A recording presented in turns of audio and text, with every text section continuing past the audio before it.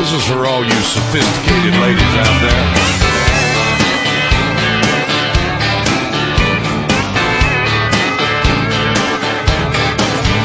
She grew up in the city in a little subdivision. Her daddy wore a tie, mama never fried a chicken. Ballet, straight A's, most likely to succeed.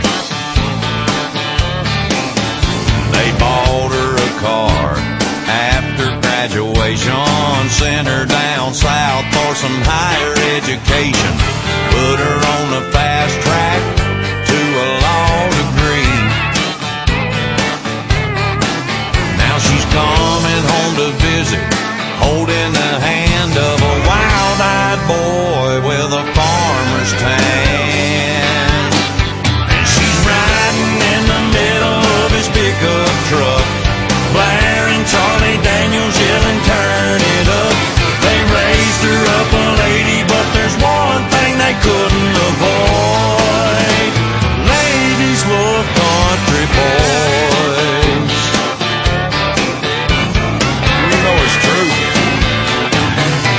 Yeah, you know mamas and daddies want better for their daughters. Hope they'll settle down with a doctor or a lawyer and their uptown ball gown hand me down.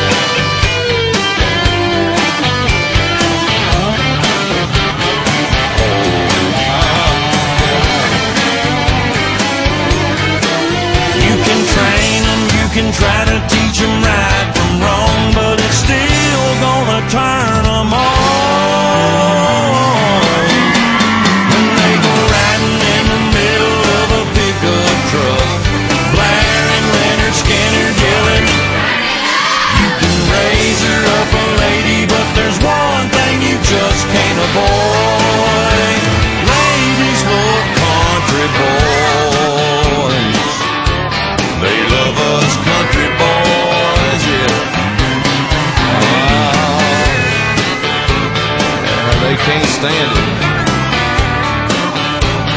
It's that country thing, you know.